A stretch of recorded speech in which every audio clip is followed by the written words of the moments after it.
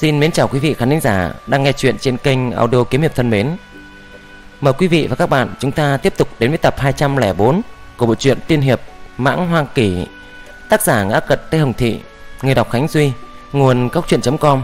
Mời quý vị và các bạn chúng ta cùng tiếp tục theo dõi diễn biến của câu chuyện.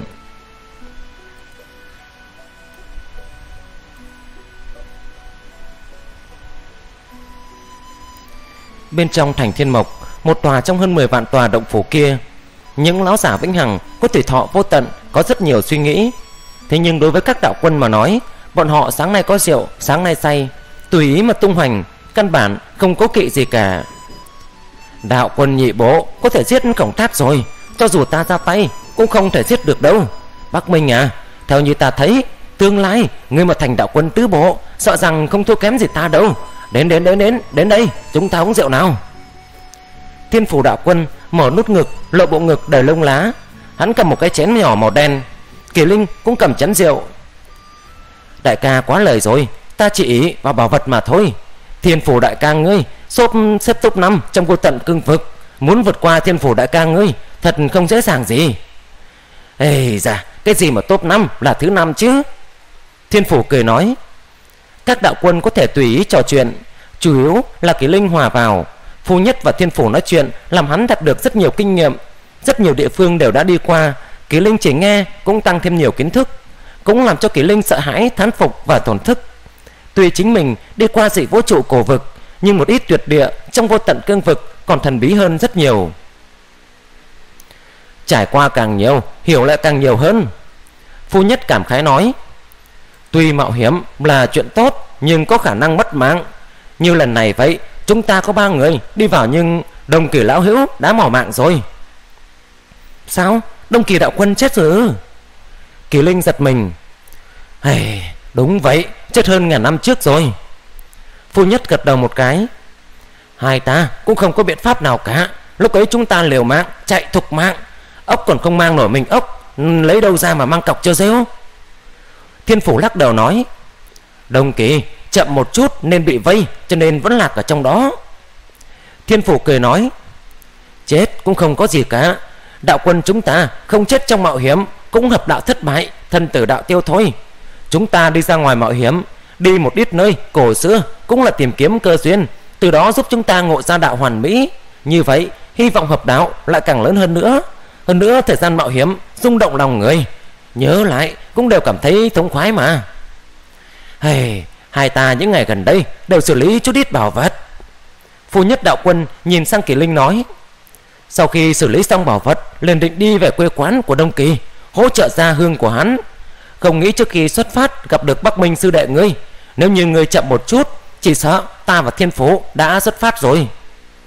Đúng, đây chính là duyên phận giữa chúng ta và Bắc Minh huynh đệ. Thiên Phủ cười nói, Phu nhất sư huynh. Kỳ Linh lên tiếng, các người muốn đi quê hương của Đông Kỳ đạo quân ư? Đúng vậy. Phu nhất đạo quân gật đầu nói, Lúc trước chúng ta, lâm vào tuyệt cảnh Đã nói ra một ít nguyện vọng của nhau. Ai còn sống sẽ giúp nhau thành hoàn. Đông Kỳ trước khi chết, Hắn không bỏ được duy nhất Chính là quê hương của hắn ta. Kỳ Linh gật đầu, liền nói, Phu nhất sư huynh, Hôm nay ta cũng sông sáo bên ngoài. Tạm thời cũng không có nơi nào bảo hiểm. Lần này đi quê hương của Đông Kỳ đạo quân, Giao cho ta đi ta an bài sẽ thỏa đáng. Lần này đám người phu nhất đến giúp mình, tuy không có phá vỡ phong cấm đại trận cứu mình, nhưng có thể đi tới đã là một ân tình.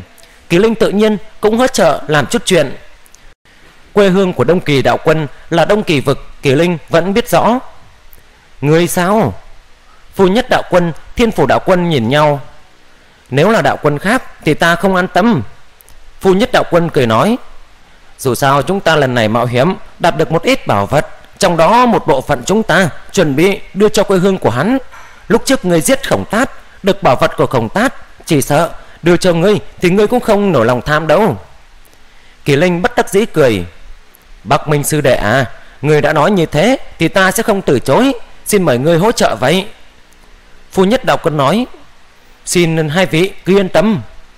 Kỳ linh cười nói, vậy thì phiền toái ngươi, đưa cho quê hương đông kỳ như thế nào tùy ngươi quyết định vậy. Phu nhất đạo quân đưa ra một vòng tay chữ vật, Kỳ Linh tiếp nhận. Xin cứ việc yên tâm. Chỉ một lát sau, Thiên Mộc Tông có sư giả đi vào kìa. Phu nhất đạo quân quay đầu nhìn hành lang xa xa, Chỉ thấy hành lang có một lão giả áo xám. Lão giả áo xám nhìn về phía kỷ linh và nói, Phụng lệnh tông chủ, Đây là lệnh bài đạo minh tiên cung, Tặng cho Bắc Minh đạo quân. Nói xong, hắn đưa lệnh bài cho kỷ linh. Sao? Đây là Kỳ linh khẽ vươn tay tiếp nhận Lệnh bài đen kịt và lệnh bút Trên lệnh bài có thần văn phức tạp Phía trên còn có một chữ binh. Lão giả áo xám lập tức xoay người rời đi. Kỳ Linh sững sờ cũng quá dứt khoát. Bắc Minh Sư Đệ Chúc mừng, chúc mừng ngươi. Đây là lệnh bài đạo minh tiên cung đấy. Là lệnh bài chữ binh thấp nhất à? Phu nhất đạo quân cười nói Chờ ngươi thành đạo quân tứ bộ Sẽ đạt được lệnh bài chữ tướng Có thể đi đạo minh tiên cung một chuyến cái đó thu được không ít chỗ tốt đâu. Sao? Lệnh bài chữ tướng ư? Kỳ Linh hiếu kỳ. Đạo Minh Tiên Cung hơi có chút đặc thù. Dựa theo địa vị mà phân chia, Thấp nhất là lệnh bài chữ binh, Đưa cho đạo quân tứ bộ lệ hại. Về phần một ít đạo quân nghịch thiên, Sao có lệnh bài chữ tướng? Phu nhất đạo quân nói, Đạo Minh Tiên Cung rất thần bí. Ngươi bây giờ chỉ là tiểu binh tốt mà thôi. Đi đạo Minh Tiên Cung cũng không có ý nghĩa gì cả. Khi có lệnh bài chữ tướng Thì hãy nên đi. Ừ. Kỳ Linh gật đầu, Bất kỳ địa phương nào cũng như nhau, Địa vị càng cao tự nhiên đạt được càng nhiều chỗ tốt. Lệnh bài là do đạo minh tiên cung phát ra. Lần này nghe thiên mộc tông tông chủ, Thiên mộc đế quân cho ngươi, Nhưng hắn là một trong cao tầng của đạo minh tiên cung, Nên có quyền làm như vậy. Xem ra thiên mộc đế quân cũng chú ý tới ngươi rồi. Với ngươi mà nói, Đây là một chuyện tốt, Cũng có thể là tai họa. Phu nhất đạo quân cười nói, Thực lực khi còn yếu, Nên tránh xa phân tranh, Bên trong đạo minh mới tốt. Ta hiểu rồi. Kỳ Linh gật đầu. Kỳ Linh ở tại thành Thiên Mộc Cũng là vì chiến đại bí thuật, Về sau xảy ra chuyện khổng tác đạo quân Nên chậm trễ thời gian hơn 2 năm. Sau đó ngây ngốc trong động phủ của Phu nhất đạo quân 2 ngày, Kỳ Linh lại cáo từ, Hắn lập tức rời khỏi thành Thiên Mộc Và xuất phát đi Đông Kỳ Vực. Một chiếc phi chu màu đen đang phi hành về phía trước nó chạy đi trong vô tận cương vực Cưỡi thể không truyền tống trận Có thể vượt qua chín thành khoảng cách Cuối cùng còn lại có thể chậm rãi phi hành những khoảng cách này nhìn tương đối ngắn nhưng phải bay vài chục năm, thậm chí vài trăm năm. Phi chu màu đen bay nhanh, Kỳ Linh, Đan Bảo, Tô Vô Cơ đang ngồi trên phi chu uống rượu. Đồng Kỳ đạo quân chết ư?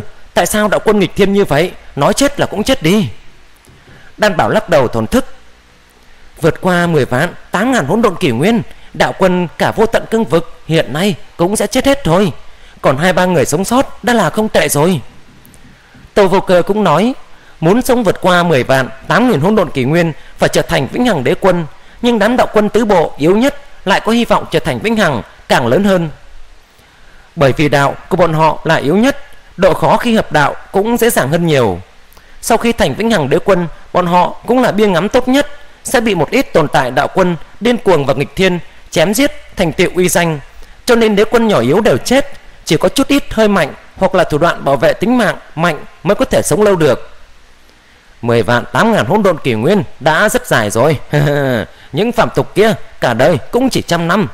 Cỏ cây một thu cũng không quá một năm. Kỳ Linh cười nói, Ta tu hành cho tới bây giờ còn chưa đủ một hỗn độn kỷ nguyên, Còn chưa đạt tới một phần vạn. Nếu có thể huy hoàng sống trên 10 vạn 8 ngàn hỗn độn kỷ nguyên cũng đã đủ rồi. Đương nhiên nếu như có thể hợp đạo thành vĩnh hằng thì là tốt quá. À, Chủ nhân nếu người hợp đạo thành vĩnh hằng Thành Vĩnh Hằng thì chính là chúa tể đấy. Đan Bảo nói Ừ đích thị là chúa tể. Hai mắt của Tô Vô Cơ lúc này tỏa sáng. Ừ xem nào Cứ tưởng tượng bộ dạng chủ nhân trở thành chúa tể Ngẫm lại đã cảm thấy kích động rồi. Thôi thôi Hảo háo, chớ có suy nghĩ lung tung nữa nào. Kỳ Linh cũng lắc đầu nói, Người tu hành yêu nghiệt nằm mơ, Cũng muốn mình trở thành chúa tể, Chỉ sợ có không ít người, Nhưng đó chỉ là mơ mà thôi, chính thức có thể thành công lại quá ít. Sao? Bỗng nhiên Kỳ linh khẽ gật đầu.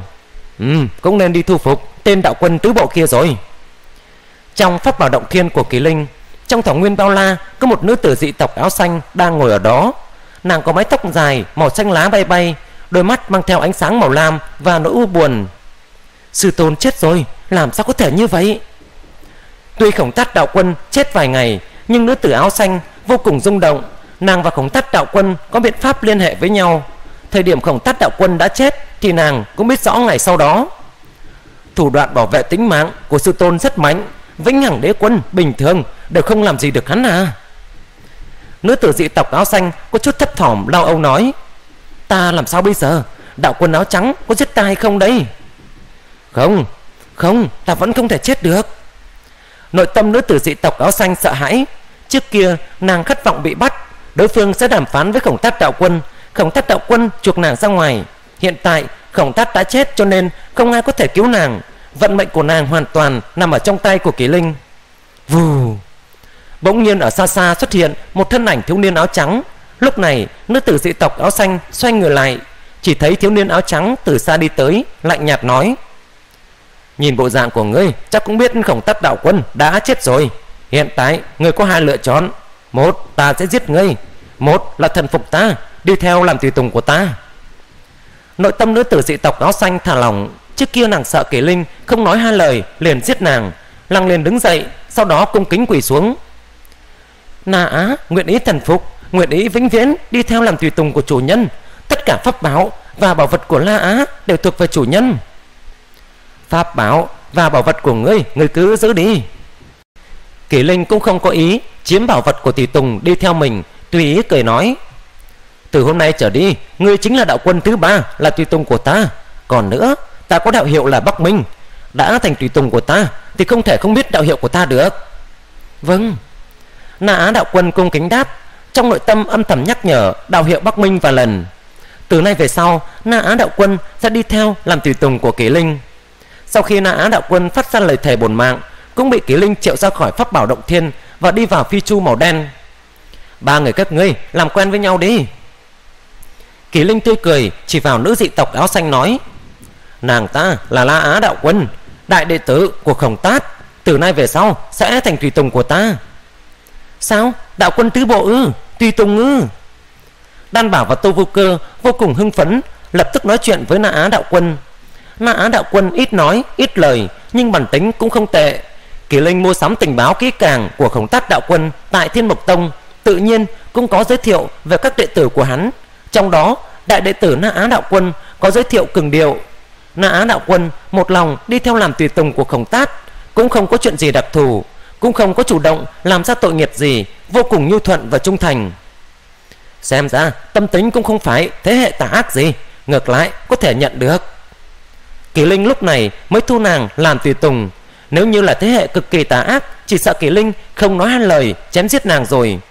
Kỳ linh mang theo tô vô cơ, đan bảo, na á đi thẳng về phía trước. Hắn tiến về mang nhai quốc, mượn nhờ thông đạo thời gian của mang nhai quốc tới một khu vực vắng vẻ trong vô tận cương vực nơi đó cách đông kỳ vực rất gần. Cho dù như thế, lữ trình này có phần xa xôi. May mắn kỷ linh có được phi chu gấp trăm lần tốc độ ánh sáng. Lại mượn nhờ thông đạo thời không của mang nhai quốc, cho nên sau 500 năm đã bay tới đông kỳ vực. Đông kỳ vực, nơi này đã là biên giới của vô tận cương vực rồi. Phi chu màu đen dừng lại trên một hỗn độn tinh cầu. Trong hư không hỗn độn, phi chu màu đen, đám người kỷ linh nhìn cương vực chung quanh. Nơi này chính là đông kỳ vực. Chủ nhân Na Á đạo quân cung kính nói, Đông kỳ vực là cương vực biên giới. Khu vực biên giới như thế này vô cùng nguy hiểm. Cũng có một ít thế lực ngầm ẩn nấp ở đây. Đông kỳ đạo quân còn sống Nên uy danh của hắn chấn áp cả đông kỳ vực, Làm cho một ít thế lực hắc ám Không dám sằng bẫy Bởi vì đông kỳ đạo quân chết đi, Cho nên quê hương của hắn không cách nào an ổn được. Ừ Đây cũng là nguyên nhân Hắn không an lòng về quê hương của mình Trước khi chết đi. Kỳ Linh nói Kỳ Linh nhìn vào một nơi xa xa. Biên giới vô tận cương vực, Bên ngoài biên giới chính là hắc ám vô tận. Đúng vậy, là hắc ám vô tận. Na Á đạo quân gật đầu. Hắc ám vô cùng vô tận, Hắc ám không nhìn thấy điểm cuối. Đan Bảo cũng nhẹ giọng nhắc tới, Tô vô cơ biểu lộ lại càng thêm phức tạp. Vô tận cương vực là nơi có vô số người tu hành, Sinh mệnh đặc thù, Vĩnh hằng nhất tộc, Còn có các cương vực khác nhau. Bên ngoài cương vực này là nơi nào đây? Trừ ngu tinh hải là tuyệt địa đáng sợ ra chính là hắc ám vô tận. Không có bất cứ hỗn độn tinh cầu nào không có thế giới hỗn độn không ánh sáng cũng không có thời không truyền tống trận. Nơi này là hắc ám hoàn toàn tinh mịch. Hơn nữa là hắc ám vô cùng vô tận. Hắc ám lớn bao nhiêu cũng không có ai biết được bởi vì quá rộng lớn. Đạo quân không dám xông vào mà vĩnh hằng đế quân tuổi thọ vô hạn mới dám tiến vào bên trong. Như Tuyết Giám Đế Quân, Dịch Ba Đế Quân là các tồn tại cường đại. Bọn họ tràn ngập hiếu kỳ về hắc ám vô cùng vô tận, vì vậy xông vào trong hắc ám vô tận và không ngừng phiêu bạt. Bọn họ tuổi thọ vô hạn cho nên dám xông vào, có thể dù vậy bọn họ cũng không có trở về. Không chỉ một đạo quân đã thử qua. Kỳ Linh nói khẽ, những đạo quân kia không ngừng cho pháp thân tiến vào trong hắc ám vô tận, cho dù tuổi thọ đại nạn, pháp thân vẫn ở trong hắc ám vô tận. Thật là đáng sợ. Đan Bảo nói thầm, đây không tính là đáng sợ, hắc ám vô tận chỉ là tĩnh mịch mà thôi. Nã đạo quân nói, Ngô Tinh Hải mới gọi là đáng sợ. Ngô Tinh Hải không có cực hạn. Trong Ngô Tinh Hải là ẩn chứa vô tận nguy hiểm và vô tận kỳ ngộ. Ngay cả ba chúa tể cũng không dám sảng bậy đi vào. Ngô Tinh Hải chính là đệ nhất tuyệt địa. Kỳ Linh cười cười. Được rồi, chờ thời điểm chúng ta ngại sống quá dài, lại đi Ngô Tinh Hải sông sáo một phen. Hiện tại nơi đó không phải nơi chúng ta nên tới. Đi thôi, lần này ta tới an ủi gia hương của Đông Kỳ đạo quân một chút vậy. Dàn xếp thỏa đáng cũng không đơn giản. Nơi này là khu vực biên giới, lực ảnh hưởng của đạo minh có thể được xem nhẹ, bởi vì cương vực xung quanh đã bị sinh mệnh đặc thù khống chế, có chút là vĩnh hằng nhất tộc khống chế, thậm chí còn có một chút thế lực ngầm, thậm chí hoài nghi là thế lực từ ngoài tới, ví dụ như Hắc Ám Quốc độ.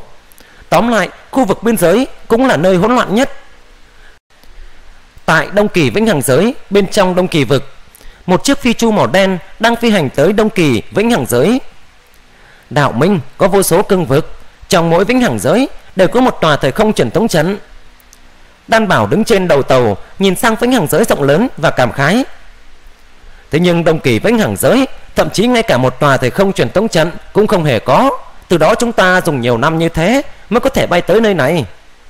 Kỳ Linh cười cười nói, Vĩnh Hằng giới bình thường đều có thể không chuẩn tống trận như Đại Mạc Vĩnh Hằng giới, Thiên Thương Vĩnh Hằng giới đều có. Thế nhưng Đông Kỳ Vĩnh Hằng giới này không có thể không chuẩn tống trận. Đám người Kỳ Linh đi tới Đông Kỳ vực cho nên tốn hao hơn 3 năm, vất vả không nhỏ. Đi tới thành Đông Kỳ trước vậy.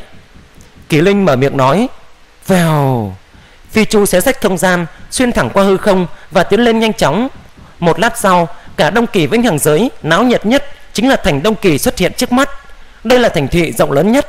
Người tu hành phần đông Rất là phồn hoa. Ba người các ngươi, Thu liễm khí tức đi. Kỳ Linh phân phó. Đặc biệt là Na Á, Người chính là đạo quân tứ bộ. Khí tức của ngươi quá dọa người. Đừng dọa hóng đám người tu hành phổ thông ở đây. Vâng thưa chủ nhân. Na Á đạo quân cung kính đáp. Na Á đạo quân, thân là đạo quân tứ bộ. Khí tức của đạo quân tứ bộ mênh mông như bầu trời. Đạo quân một bước một sinh tử mỗi một lần đột phá thì khí tức sẽ có biến hóa. Đạo quân nhất bộ, đạo quân nhị bộ là đạo quân kém nhất. Mặc dù phát ra khí tức nhiều nhất chỉ áp bách đám thế giới cảnh mà thôi. Nhưng đạo quân tứ bộ sẽ làm cho đám thế giới cảnh sợ hãi từ trong bản năng, uy hiếp tính mạng rất mạnh. Vù phi chu lao xuống bên dưới, sau đó kỷ linh thu phi chu mang theo na á, đan bảo, tô vô cơ đi vào cửa thành. Cửa thành có 12 tên thế giới cảnh phân biệt đứng hai bên nhìn dòng người tu hành đi vào thành đông kỳ. Lại đấy như vậy ư? Kỳ linh có chút kinh ngạc. Chủ nhân, đây chỉ là khu vực biên giới, cho nên thành ấp phòng bị mới xâm nghiêm như vậy. Tô vô cơ chuyển âm nói, đám người kỳ linh tán gẫu và vào cửa thành. Cửa thành có 12 thế giới cảnh đều chú ý tới đám người kỳ linh đi vào bên trong.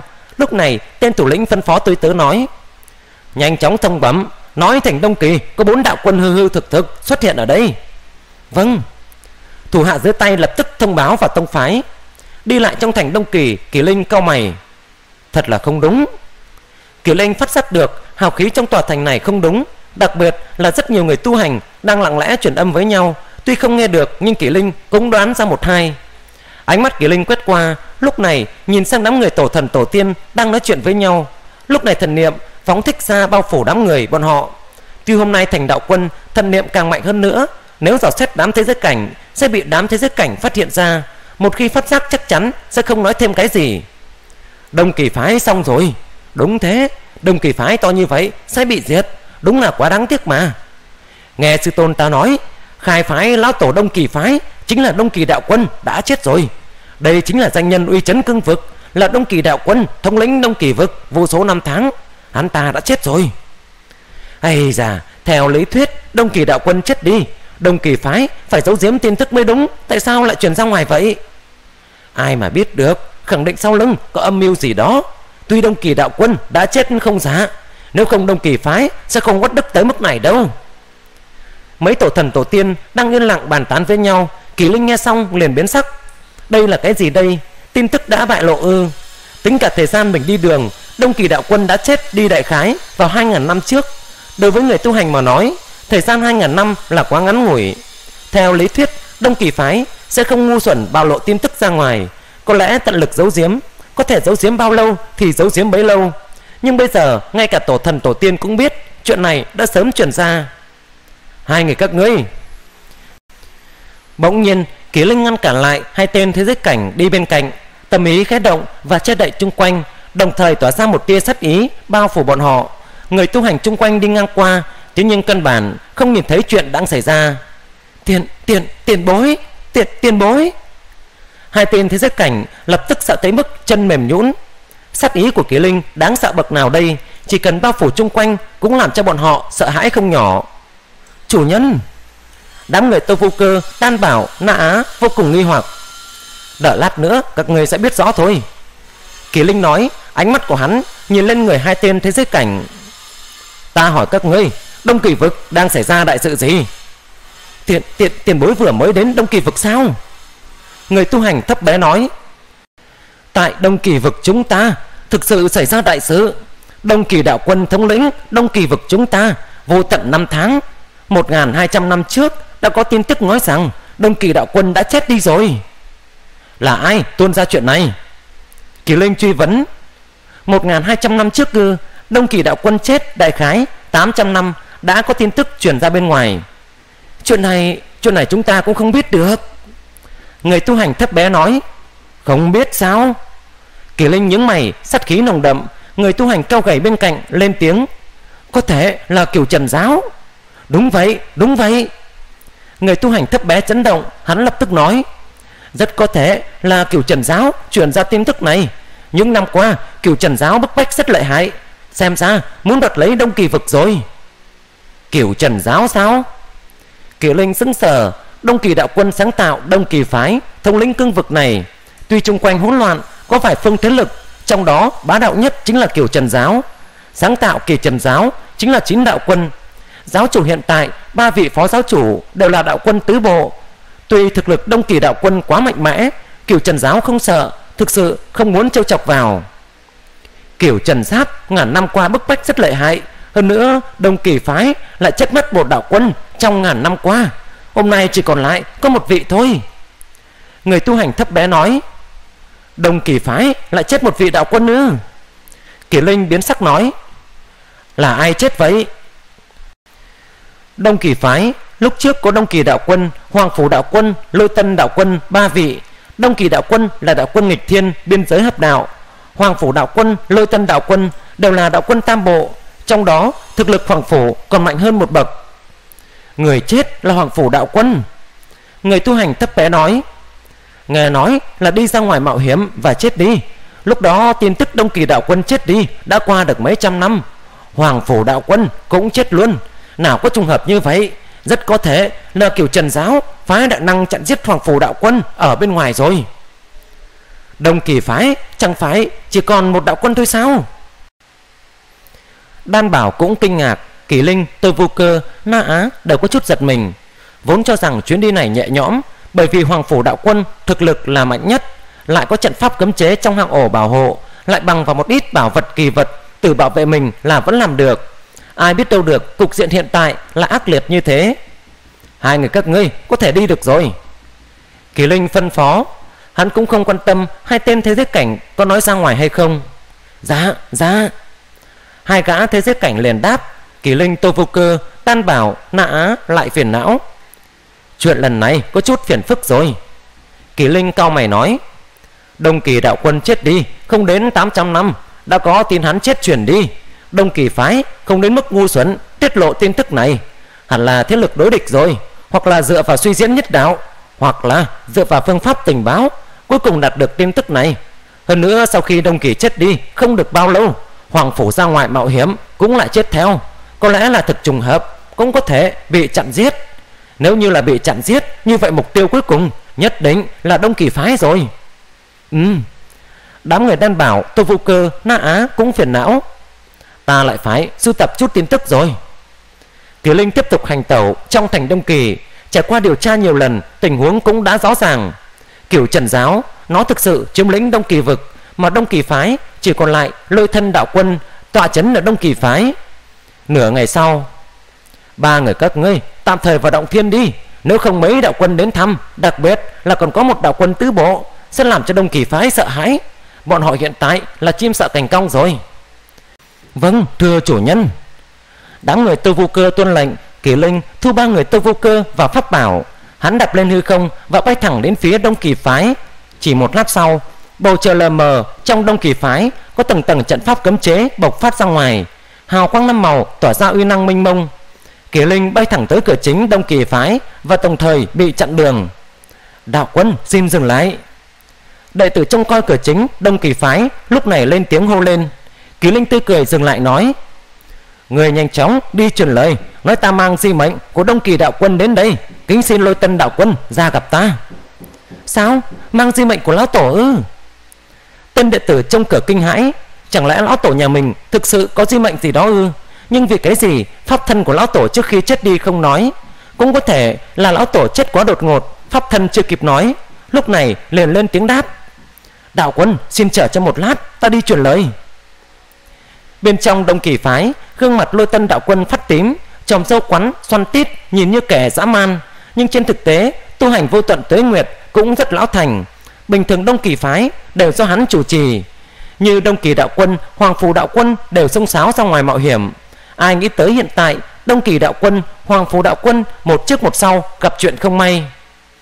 Ai... Lôi tân đạo quân ngẫm lại và thở dài. Sư phụ, cơ nghiệp đông kỳ phái ta tồn tại vô tận tuế nguyệt, không thể bung tha như vậy được. Hai đệ tử áo bào màu vàng ngồi bên cạnh lôi tân đạo quân lên tiếng trong đó, một đệ tử áo bào màu vàng, mặt tái lên tiếng. Bất kể là ai muốn diệt đông kỳ phái chúng ta, cũng phải nguyên khí đại thương. Một tên đệ tử áo bào màu vàng khác, bộ dáng ngục kịch nói chuyện đầy sát khí. Lôi tân đạo quân lại lắc đầu nói, lão tổ, hắn là đạo quân cực kỳ yêu nghiệt, rất cường đại. Vô tận tuế nguyệt, hắn lưu lại căn cơ cho đông kỳ phái rất kiên cố. Hiện tại có thể giữ vững đông kỳ phái, phải xem bản thân cường đại hay không kiểu trần giáo cũng kiêng kỵ thủ đoạn liều mạng của đông kỳ phái chúng ta. Cho nên, mới nhiều mặt uy hiếp như vậy, cũng không có trực tiếp mà đánh. Nếu như lại qua thời gian lâu dài, đông kỳ phái chúng ta cũng chỉ có đường bị diệt mà thôi. Sư phụ, hai tên đệ tử vô cùng bi phấn thôi, các ngươi chỉ là thế giới cánh không hiểu kiểu trần giáo đáng sợ như thế nào đâu. Lôi tân đạo quân thở dài nói, đặc biệt là giáo chủ kiểu trần giáo mặc dù so với lão tổ cũng không kém hơn bao nhiêu đâu. Hai tên đệ tử đều cắn răng phẫn hận, không cam lòng. Bọn họ đường đường là đông kỳ phái. Quá khứ huy hoàng cỡ nào, cương vực chung quanh, ai lại không kiên kỵ và kính sợ đây? Mặc dù kiểu trần giáo cường đại cũng phải tránh né đông kỳ phái. Hiện tại, đại thụ đã sụp đổ, đông kỳ phái cũng lung lay sắp đổ. Sư bá! Bỗng nhiên, có một đệ tử chạy vào. Hắn dừng lại trước cửa và cung kính nói, sư bá bên ngoài đến một vị đạo quân lạ lẫm, nói mang theo di mệnh của lão tổ tới, muốn gặp sư bá. Cái gì? Lôi tân đạo quân đứng lên, hai tên đệ tử áo bào vàng bên cạnh hắn vô cùng kích động. Sao? Mang di mệnh của lão tổ ư? Nội tâm của lôi tân đạo quân cũng kích động. Môn phái bọn họ, thậm chí gia hương và tộc quần của bọn họ vẫn dựa vào đông kỳ đạo quân. Ngay cả lôi tân, hoàng phủ có thể thành tựu sinh tử đạo quân cũng có đông kỳ đạo quân chỉ dẫn cho nên, địa vị của đông kỳ đạo quân là phi thường cao. Đệ tử áo bào màu vàng, tóc trắng, kinh hỉ lên tiếng. Sư phụ, lão tổ nhất định có an bài trước khi chết rồi. Đừng nóng vội để ta gặp trước đã. Lôi tân đạo quân cũng có chờ mong, lúc này thân hình hơi biến hóa, tiệu đi ra ngoài cửa. Cửa chính của đông kỳ phái lôi tân đạo quân nhìn ra ngoài cửa chính.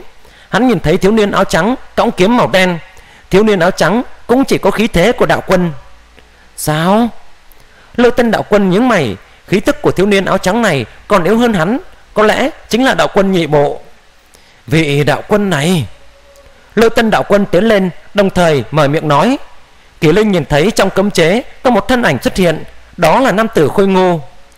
Ngươi là lôi tân đạo quân nữ Kỳ Linh mở miệng nói, Đúng là ta, Xin hỏi đạo hiếu là Lôi tân đạo quân cũng hỏi thăm, Tại hạ là Bắc Minh Kỳ Linh cười nói, Nơi này không phải chỗ nói chuyện, Chúng ta vào trước rồi nói. Đúng đúng, vào rồi nói. Lô tân đạo quân cũng biết quan tâm, Nhưng nhất thời bị loạn, Ngay cả đạo đái khách cơ bản cũng đã quên mất. Hắn dẫn dắt Kỳ Linh đi vào Đông Kỳ Phái. Bên trong đại sảnh của Đông Kỳ Phái Con nữ hầu đưa tiên tiểu và món ngon tới. Lô tân đạo quân ngồi ở một bên Bên cạnh có hai đệ tử áo bào màu vàng hầu hạ. Kỳ Linh ngồi bên kia, Kỳ Linh nhàn nhã uống tiên tiểu Tán thưởng vài tiếng. Vị đạo rất là tốt. Bắc Minh đạo hiếu à Lôi tân đạo quân không nhịn được hỏi. Trước người nói, Mang theo di mệnh của lão tổ nhà ta ư? Đúng vậy. Kỳ Linh gật đầu nói. Nói tới chuyện này, Phải nói tới sư huynh, phu nhất đạo quân của ta. Sao? Phu nhất đạo quân ư? Lôi tân đạo quân nghe xong kinh ngạc, Đương nhiên hắn nghe lão tổ nhà mình nói Về phu nhất. Phu nhất tuyệt đối là lão hảo hữu của lão tổ. Hơn nữa thực lực phu nhất tương đương với lão tổ. Hơn nữa là người tu hành tâm lực Nên thủ đoạn khó lường. Địa vị phu nhất trong vô tận cương vực Còn cao hơn cả Đông Kỳ một ít. Kỳ Linh gật đầu. Đông Kỳ đạo quân và sư huynh phu nhất đạo quân của ta, Còn có thiên phủ đạo quân Cùng nhau đi mạo hiểm, Đi vào tuyệt cảnh sinh tử. Phu nhất, thiên phủ may mắn còn sống sót, Mà Đông Kỳ đạo quân thiếu một tia số mạnh Nên cũng vẫn lạc. À Lôi tân đạo quân lộ ra vẻ bi thống. Hai đệ tử áo bào vàng sau lưng run rẩy, Trong nội tâm vừa thống khổ lại không cam lòng. Vì cái gì hai người khác còn sống Mà lão tổ lại chết đi đây? Phu nhất sư huynh nói ba người ở trong tuyệt cánh Nên hiểu có lẽ sẽ phải chết Cho nên đều lưu lại di ngôn. Kỳ Linh nói, Đông kỳ đạo quân, trước khi chết đi, Nói hắn không bỏ xuống được, Nhất là quê hương của mình. Phu nhất sư huynh, Hai người sống sót rời đi Bọn họ giao bảo vật còn lưu lại cho ta, Mang tới Đông Kỳ Phái. Các ngươi nhìn xem, Phải chăng có thể trợ giúp Đông Kỳ Phái các ngươi hay không? Kỳ Linh nói xong, liền lấy vòng tay chữ vật ra. Đây cũng là một ít bảo vật Đám người phu nhất đạo quân lưu lại. Vèo! Vòng tay chữ vật bay tới trước mặt lôi tân đạo quân. Lôi tân đạo quân kích động tiếp lấy, Về sau nhanh chóng luyện hóa và điều tra. Hai tên đệ tử, áo bào màu vàng sau lưng, Kích động không nhỏ. Chỉ một lát sau biểu lộ lôi tân đạo quân phức tạp thu vòng tay chữ vật. Trong vòng tay chữ vật cũng có một kiện tín vật của đông kỳ đạo quân, cũng là tín vật lưu lại, di ngôn cho ba đạo quân khi trước. Sao? Như thế nào? Kỳ linh hỏi. Phu nhất, thiên phú, hai vị tiền bối ban cho không ít bảo bối rồi. Lô tân đạo quân cảm thán nói. Thậm chí còn có hai kiện đạo phù uy lực rất mạnh. Theo thứ tự là phu nhất đạo quân và thiên phủ đạo quân hao phí cái giá không nhỏ, tự tay luyện chế. Còn có rất nhiều trận pháp dùng để thủ hộ đông kỳ phái chúng ta. Bình thường sẽ đủ, thế nhưng đông kỳ phái ta hiện tại phải đối mặt với kiểu trần giáo. Sư phụ, còn không được sao? Hai đệ tử áo bào vàng sau lưng vội vàng hỏi thăm. Giáo chủ cửu trần giáo là cao thủ thực lực tiếp cận hai vị tiền bối phu nhất và thiên phủ cho dù phu nhất thiên phủ ra tay, cũng không có khả năng chém giết giáo chủ cửu trần giáo đâu. Lôi Tân đạo quân nói, Chỉ hai tấm đạo phù Cũng có thể chém giết đạo quân tứ bộ, Nhưng tuyệt đối không làm gì được kiểu trần giáo chủ. Kỳ Linh cũng gật đầu, Có lẽ kiểu trần giáo chủ Cùng đẳng cấp với khổng tát Còn hơi kém hơn phu nhất thiên phủ một bậc. Giáo chủ với phu nhất thiên phủ Vẫn có thể bảo vệ tính mạng. Lôi Tân đạo hiếu, Kiểu trần giáo muốn động thủ với đông kỳ phái ư? Kỳ Linh hỏi, Ừm. Lôi tân đạo quân phẫn hận và không cam lòng nói một câu. Hoàng phủ huynh đệ của ta đã bị kiểu trần giáo giết chết rồi. Cái gì? kỷ linh biến sắc. Đây chính là pháp thân của hoàng phủ huynh đệ. Chính miệng nói ra trước khi chết đi. Lôi tân đạo quân phẫn nộ nói, Đáng tiếc, hoàng phủ huynh đệ lọt vào sát kiếp cách đông kỳ vực quá xa. Muốn cứu cũng không cách nào cứu được. Đương nhiên, thực lực của ta cũng không thể cứu được biểu lộ của ký linh trịnh trọng, kiều trần giáo chặn giết hoàng phủ đạo quân nư tất cả đều đã rõ ràng. Tộc nhân của ta đã sớm di chuyển từ trước rồi, ít nhất không đến mức đoạn tuyệt. Lôi tân đạo quân nói nhỏ, còn về phần chúng ta, mặc kệ như thế nào, cũng thể sống chết thủ hộ nơi đây. Nơi này là cây hương của chúng ta, là quê quán, sinh tồn vô tận tuế nguyệt. Mượn nhờ trận pháp cấm chế của tông phái, Mượn nhờ bảo vật, lão tổ lưu lại Cùng lắm thì Ngọc Thạch câu phần. Muốn ăn tươi đông kỳ vực chúng ta. Nhất định phải làm cho kiểu trần giáo Rơi vài cái răng. Liều với bọn chúng thôi. Hai đệ tử áo bào vàng cũng lên tiếng. Người tu hành đều là người cầu đạo. Một khi quyết định dốc sức liều mạng Thì không sợ hãi tử vong. Mấy vị à? Kiền Linh mở miệng nói. Ta đã đáp ứng qua với phu nhất sư huynh, Nhất định sẽ giảm xếp quê hương các vị thỏa đáng. Đám người lôi tân đạo quân khẽ giật mình, Đều nhìn về phía Kỳ Linh. Ta đáp ứng thì nhất định sẽ làm được. Kỳ Linh lạnh nhạt nói, Kiểu trần giáo, Các ngươi không cần lại lo lắng nữa, Ta sẽ ứng phó cho. Sao? Tất cả do ngươi ứng phó ư? Đám người lôi tân đạo quân vô cùng kinh ngạc, Nhìn đạo quân nhị bộ ở trước mặt mình. Kỳ Linh vung tay lên, Xoẹt. Lúc này, bên cạnh hắn xuất hiện ba đạo thân ảnh, Tỏa ra khí tức đạo quân Chính là Đan Bảo, Tô Vu Cơ cùng với Na Á đạo quân Đặc biệt là Na Á đạo quân có khí thế rất mạnh. Chủ nhân Na Á đạo quân Tô Vu Cơ Đan Bảo đều cung kính nói Lôi tân đạo quân và hai gã đệ tử áo bào vàng ngây người khi nhìn thấy cảnh này. Đạo quân tứ bộ cúi đầu hô chủ nhân với đạo quân nhị bộ ư. Kỳ linh nhìn về phía lôi tân đạo quân. Lôi tân đạo hiếu trước kia ta không nghĩ tới thế cục của các ngươi là ác liệt như thế này. Ta đã đáp ứng với phu nhất sư huynh cho nên sẽ làm được.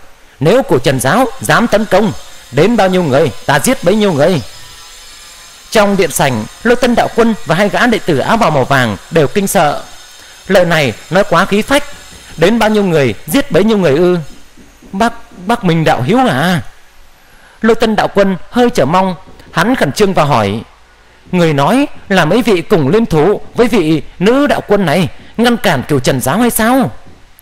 Nói xong, hắn còn nhìn về phía na á đạo quân. Nàng tên là na á. Kiều linh nói, lôi tân đạo quân nghe được tên của na á đạo quân thì nội tâm mắt lạnh, bởi vì hắn cho tới bây giờ chưa nghe nói qua tên này. Tuy hắn rất ít sông sáo bên ngoài, nhưng hắn biết mấy người có danh khí lớn chân chính. Nói rõ, na á đạo quân không có danh khí gì cả. Bái kiến na á đạo quân, không biết na á đạo quân mượn nhờ trận pháp cấm chế của đông kỳ phái trận pháp cấm chế sẽ có bao nhiêu thành nắm chắc, ngăn cản kiểu trần giáo đây? Lôi tân đạo quân liền hỏi, mặc dù có trận pháp cấm chế, chỉ sợ ta vừa gặp mặt cũng sẽ bị cửu trần giáo chủ giết chết thôi. Na á đạo quân nói, sao?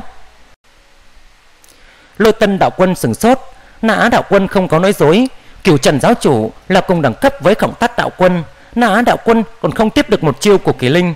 Cần biết kỳ linh cũng không dám cận thân với khổng tát đạo quân đạo quân tứ bộ bình thường và đạo quân tứ bộ nghịch thiên, chênh lệch vô cùng rõ ràng. Kiểu trần giáo chủ chính là đạo quân tứ bộ nghịch thiên. Bắc minh tiền bối, người không phải nói tới bao nhiêu, giết bấy nhiêu hay sao? Một gã đệ tử tóc trắng, áo bào màu vàng, lúc này lên tiếng hỏi thăm. Ta nói là đến bao nhiêu, ta sẽ giết bấy nhiêu. Kỳ linh gật đầu nói, là ta, tự mình chủ động chém giết. Sao? Tự mình động thủ ư? Đám người lôi tân đạo quân đều nhìn chăm chăm vào kỳ linh. Hey, không phải lôi tân xem nhẹ đạo hiếu đâu. Nếu ta nhìn không lầm thì đạo hiếu chỉ là đạo quân nhị bộ. Lôi tân đạo quân nói đúng đạo quân nhị bộ. Kỳ linh gật đầu một gã đạo quân nhị bộ muốn đối phó với cửu trần giáo chủ ư? Lôi tân đạo quân không nhịn được lắc đầu đạo quân một bước một sinh tử chênh lệch cuối cùng phi thường rõ ràng nhị bộ muốn vượt cấp chiến đấu với tứ bộ. Hơn nữa, kiểu trần giáo chủ chính là đạo quân tứ bộ nghịch thiên, hy vọng là quá mơ hồ. Nã đạo quân lạnh như băng nói, chủ nhân của ta vừa thấy mặt ta liền đánh bại ta rồi.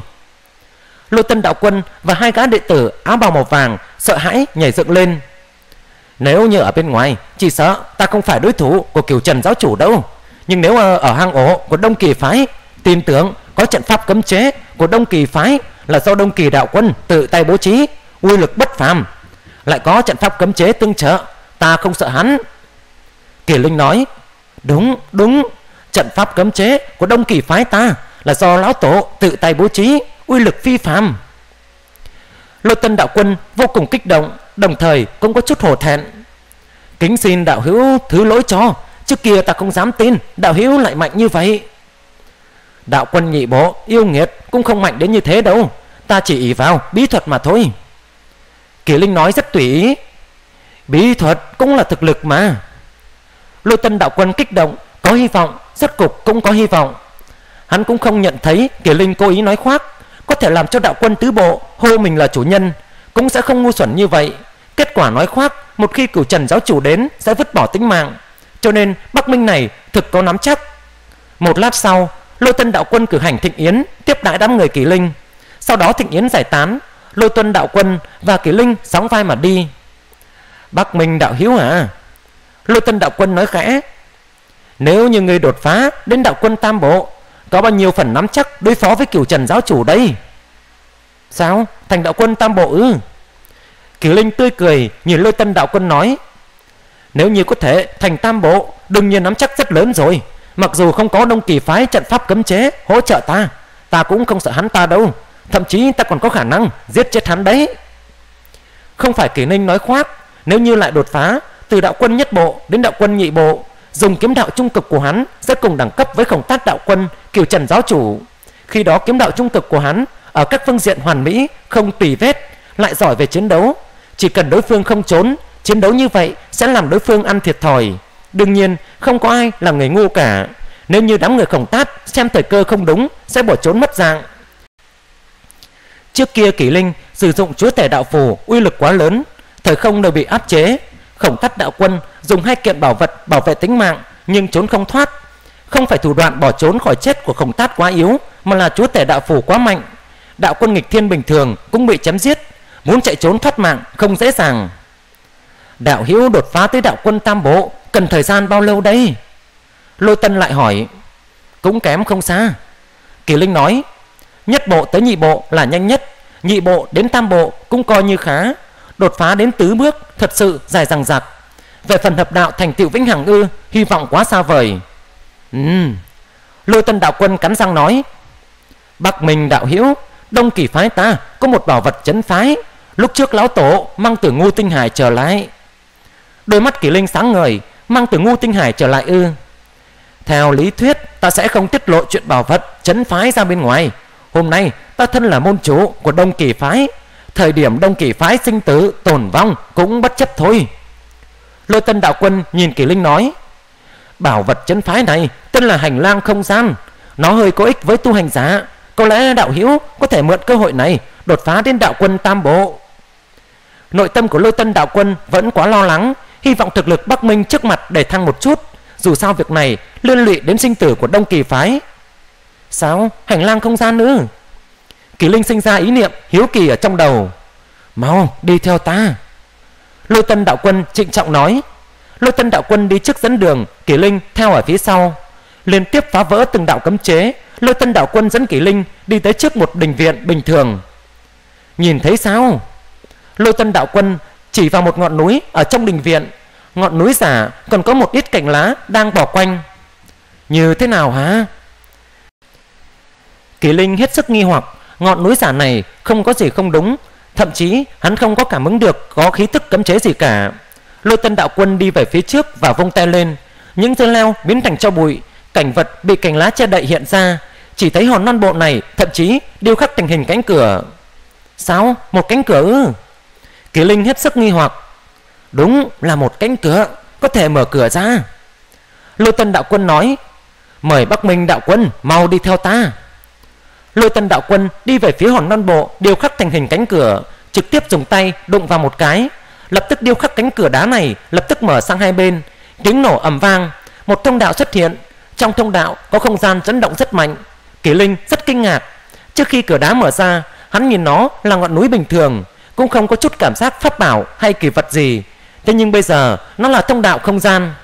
Vào đi. Lôi tân đạo quân quay đầu nhìn kỷ linh, về sau cất bước đi vào. Kỷ linh cũng không có do dự, hắn đi vào bên trong. Vù! Không gian biến ảo, một không gian màu vàng vô cùng huy hoàng xuất hiện.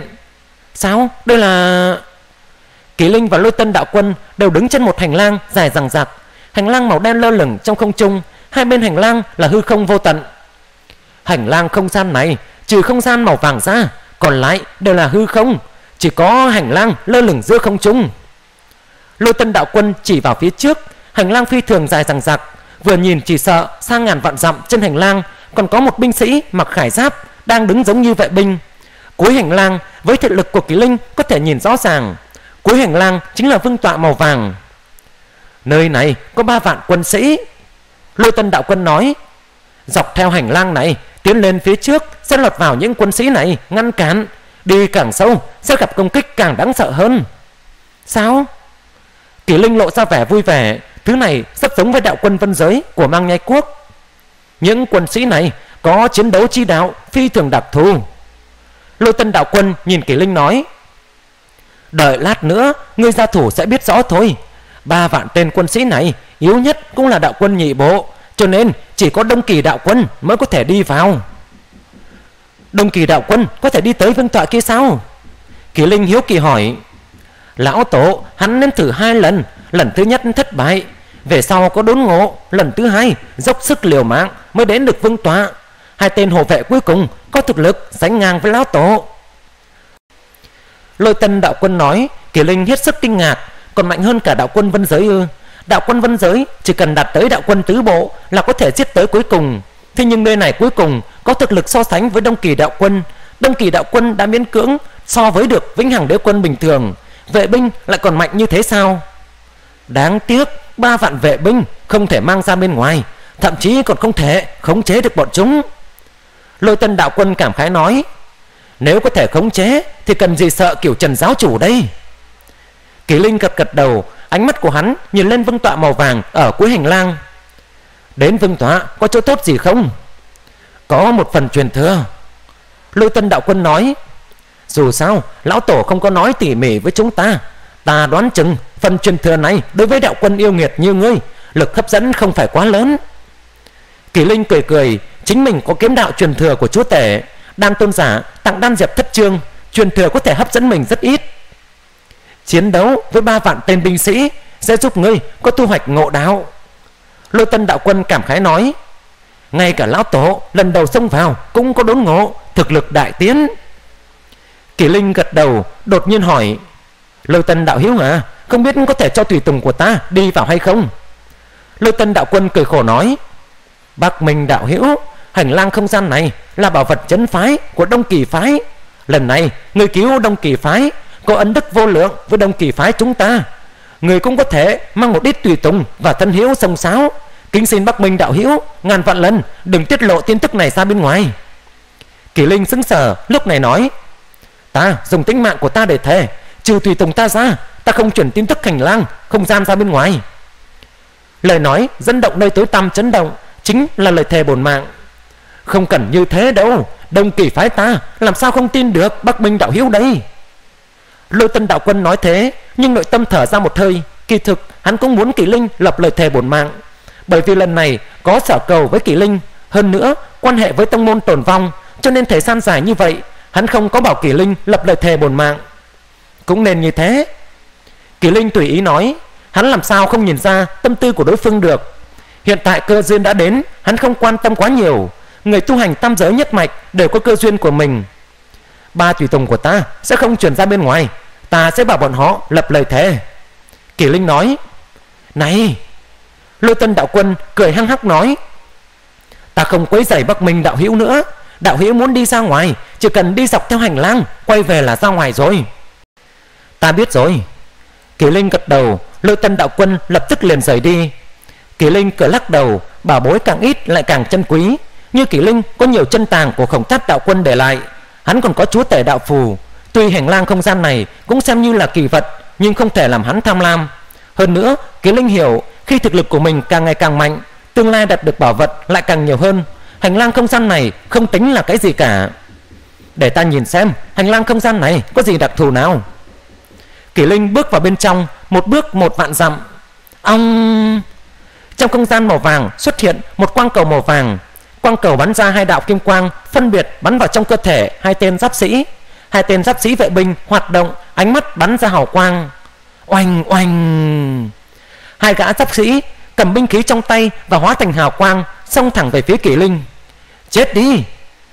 Một gã khải giáp vệ binh cầm trường mâu đâm thẳng vào hư không. Một tên khải giáp vệ binh vung trường tiên lên. Trường tiên giống như đại xà linh động. Hai gã khải giáp vệ binh có một con linh động giả hoạt, thậm chí bộ pháp huyến động tạo thành một thể. Kỷ linh lộ ra thần thái vui vẻ. Thật thú vị! Khó trách lôi tân lúc trước nói, Vệ sĩ có chiến đấu chi đạo Rất là đặc thù. Dĩ nhiên là chiến trận chi đạo, Hơn nữa kết hợp rất tốt như vậy. Bành! Kỷ Linh hơi động tâm ý, Kiếm ý xuất hiện. Kiếm ý bằng bạc trực tiếp càn quét hai tên vệ binh, Cũng đánh hai tên vệ binh bay ra đằng xa. Tranh lệch quá lớn, Hai tên vệ binh này miễn cưỡng Có thực lực đạo quân nhị bộ mà thôi. Bành bành bành! Kỷ Linh dễ dàng đánh bại đại lượng vệ binh, Không ngừng tiến lên dọc theo hành lang. Hắn đã đánh bại một vạn tám ngàn tên vệ binh, Tốc độ hắn cũng đã chậm lại. Cảm giác thật đặc biệt. Kỷ Linh bị tám gã vệ binh vây công. Tám gã vệ binh nắm lấy binh khí khác nhau, hoặc cương, hoặc nhu, hoặc âm hiểm, hoặc quang minh chính đại. Mỗi một gã vệ binh có phong cách chiến đấu đều phi thường cực đoan, có thể xuyên thấu qua chiến trận phối hợp, dường như là một tên đại năng tinh thông các lưu phái khác nhau thể hiện, từ đó làm cho kỷ linh cảm giác rất kỳ quái. Ồ, là phong chi đạo ư? Lôi điện chi đạo, thủy đạo sao? Kỳ linh càng đánh lại càng vui vẻ. Trên bầu trời, quang cầu lơ lửng.